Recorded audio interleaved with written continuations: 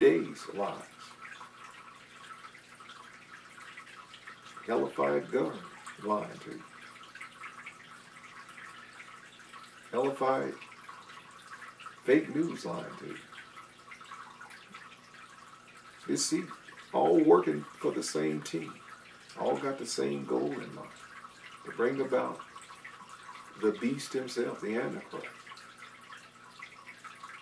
Mr. 666. Bring him about. That's what all this system's working on. you just had the uh excuse me. you just had the Baphomet Bowl slash the Stupid Bowl. That's what that's about. Mind psyops to bring in the beast system. That's what they wish. Give them bread in the circus. Mindless masses. Keep them distracted, but also programmed for what's coming. Conditioning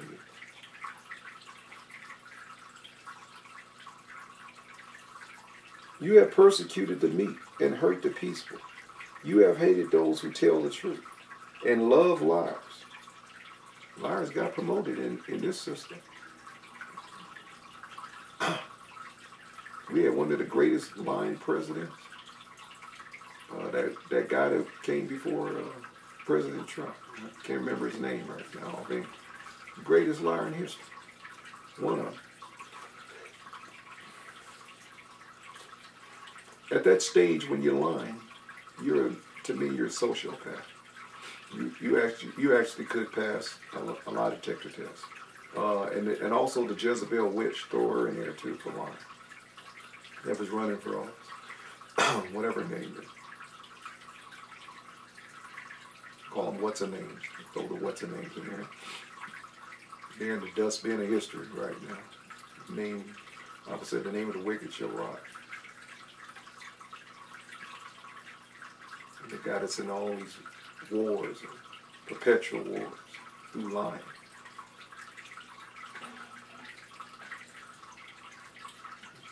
Sold their souls to the devil a long time ago and tried to sell this nation out.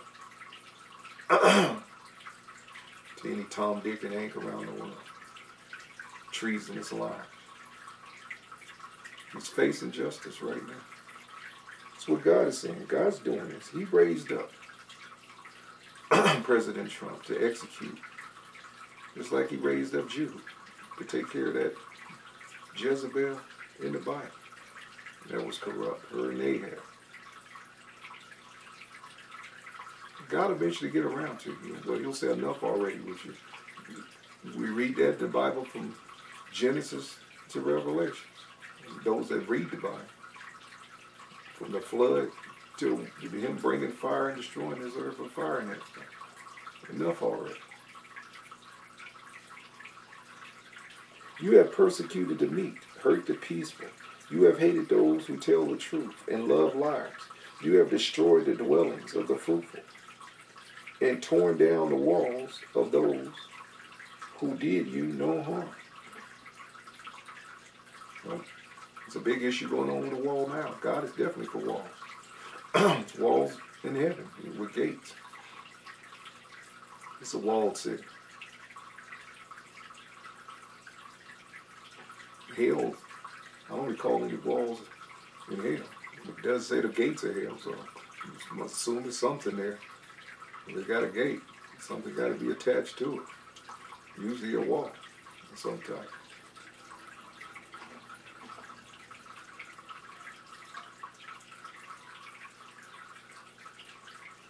Insolence, okay, here we go. You have destroyed the dwellings of the fruitful and torn down the walls of those who did you no harm. Attacking the innocent, unprovoked. And your insolence, pay close attention there. This is why I wanted to read this. Actually, I want to read this just to get to this lines, last lines right here. And your insolence has reached the Most High. You got God's attention now with your insolence. With your hubris, which are downright rotten to the core evil that you've done. Your insolence has reached the most high. You can get God's attention by being evil. And these people certainly have. And your insolence has reached the Most High, and your pride, the one. Devil's the father of pride. It was vanity and pride that got us in this condition with our forefathers, Adam and Eve. Wanting to be God. That's pride. Putting God, putting yourself before God. That's pride. Putting yourself on the throne, trying to push God off. It's all pride. Ego sin. Why Jesus said, if any man come after me, you got to deny himself. Take up a cross. It's only good to die on and follow me. Die to yourself. And your big fat ego.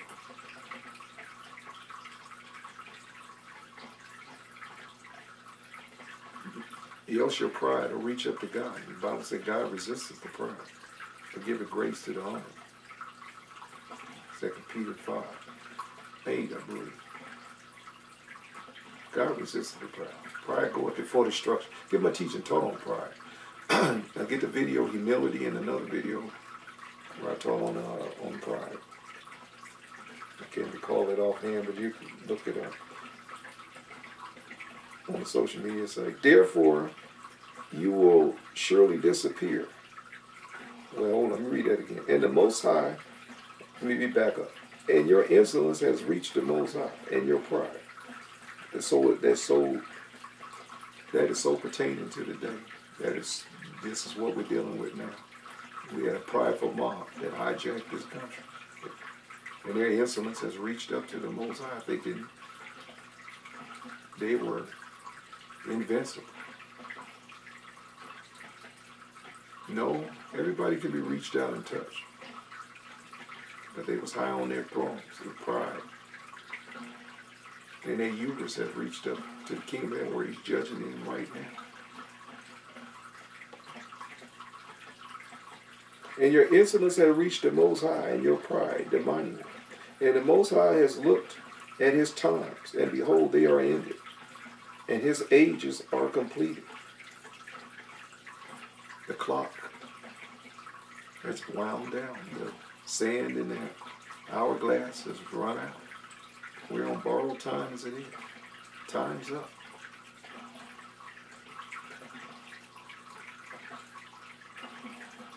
Christ can come, and I believe in the rapture just talking.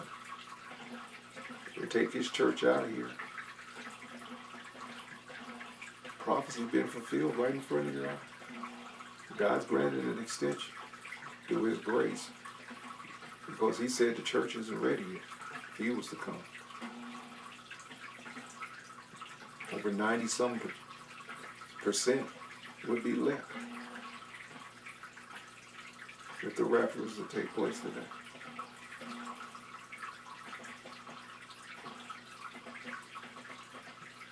The churches became a recreation center, mortuary, and everything else. But a revolutionary band of people like we read about in Acts 2 to turn the world upside down. Everything but that.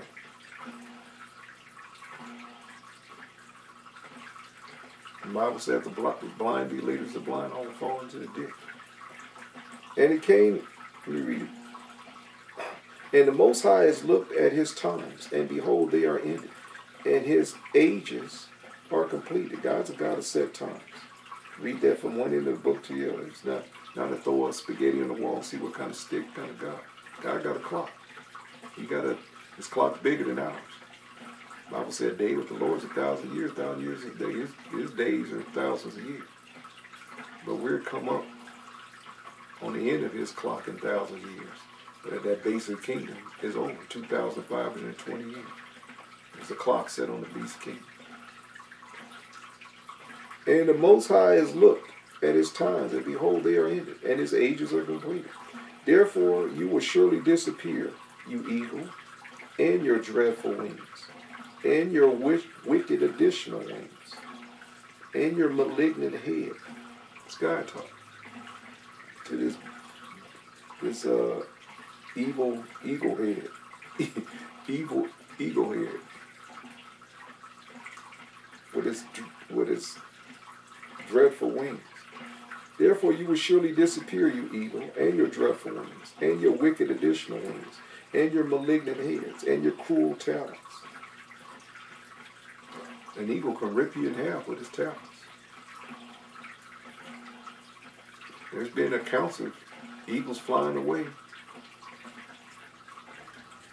with, uh, well, killing grown men, but flying away with bullets. The eagle's pretty strong and dangerous. They, they love to go for the eyes. Rip your eyes out so you can't see. The beak can tear into your flesh easily as well as the talons can, it can rip you apart. And the eagle's a pretty big bird. and its wings got pinions and needles. So it's stabbing you with its wings. When it's beating its wings, it ain't just flapping its wings and flapping. Those are weapons too. Little spears in his wings.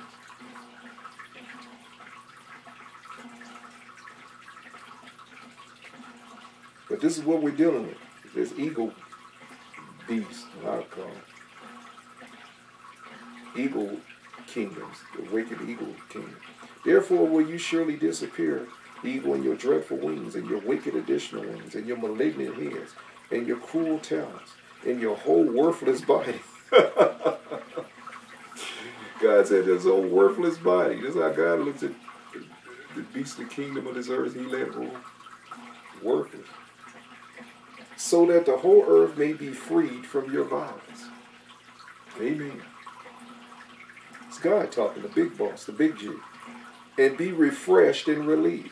A jubilee. That's why I taught on jubilee.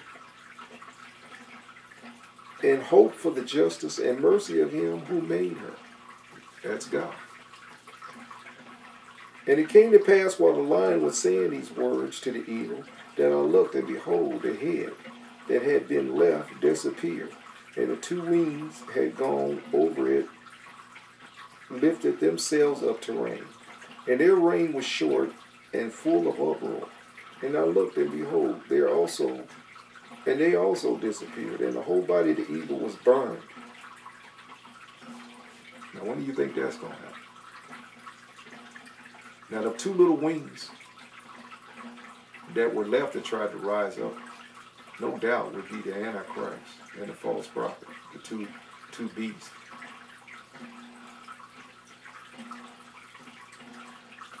And I looked also, and it also disappeared, and the whole body of the eagle was burned, and the earth was panic stricken.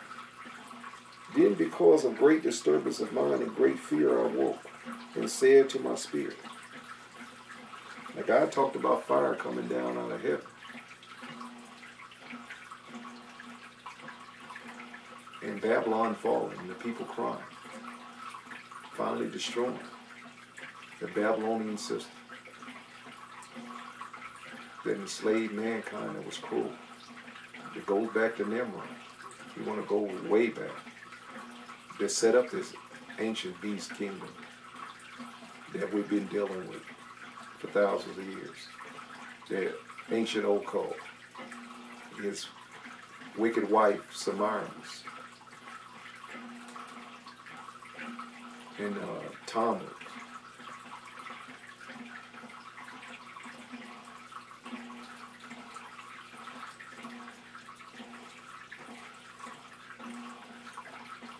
Then because of the great disturbance of mind and great fear, I awoke and said to my spirit, Behold, you have brought this up on me, because you have tried, because you tried to search out the ways of the Most High.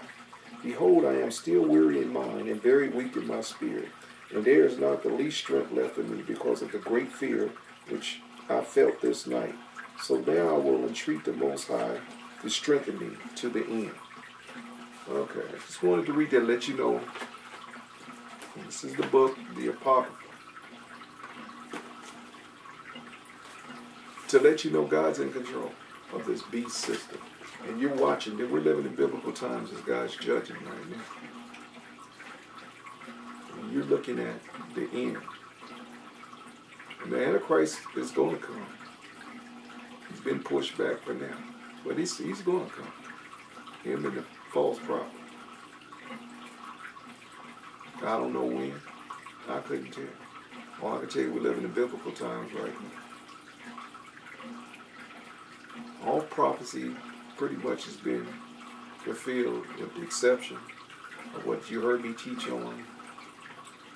And if I say you get that teaching, I'm not going to reiterate that. You get age of the beast and age of the uh, false prophet. Excuse me, age of the beast and age of Christ. I also taught on the false prophet. You get that too, the false prophet. That's the title. All right. I hope this has inspired you to hang in there as warriors and he'll push this eagle head back, this ego, this beast system back. That's what our job is. We're the restraining force.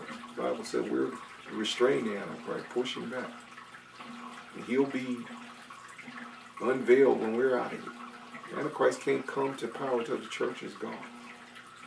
God's not going to pour his wrath out on his, his body. He's going to take us out of here. That's what the rapture is. Get my teaching on the rapture. You don't know what I'm talking about. Now, if I'm the one that taught you, mean you've been sitting under this ministry and learning, and you haven't given a dime yet, God looking at you a thief and a robber. According to Galatians 6 6. If I've taught you spiritual things, no big thing that I receive carnal things from you, material things. This is where you get your spiritual food. This is where you learn the Bible that you didn't know. Teaching you something you didn't know before, that's how you know you learn. Teaching you how to critically think for yourself regarding the scripture and law. What's it worth to? Now, get my teaching on giving. If you're a babe and you starting out, get my teaching on tithing, first fruits, alabaster box. So many have perverted that. That's what Satan does. He's called the perverse ones. What is name? To put that which belongs in front behind that which belongs behind the front. That's what pervert means. Turn everything around backwards. He's backwards. His religion is backwards. Anti everything God stands for. That's what Satanism, Satanism is all about. Going in reverse perverting everything God intended to be holy, including teaching. Now he's really done damage there with the uh, the Mammonites, I like to call them, serving the demon Mammon, God, God of grief, the little G of grief. And he so turned people off on giving God's way, but that's how God's blessing comes through sacrifice, part of worship, shipping of words the old shipping word. Worth ship, shipping worth. Worship. Shipping of worth. And you can't do no greater than shipping of worth than to give money. It's what the the pagans understood that with the temple prostitutes. They laid money for, for sex on the altar. That they deities, they're demon gods. They understand that. How come Christians can't understand? God got your heart, he got your pocketbook. Unless you're just fooling yourself. God gave himself for the world to save those few out of the world that he's chosen. And his son gave his life to save us. What's a few trinkets in his life to the one that taught you, that's teaching you about eternal life and how to get there. If you give material things. I did plenty of teaching on giving. I'm going to start putting it up on the sites. Because you're slacking in that area. All right. Good day, good evening, good night to you around the world. May you grow in faith. In Jesus' name.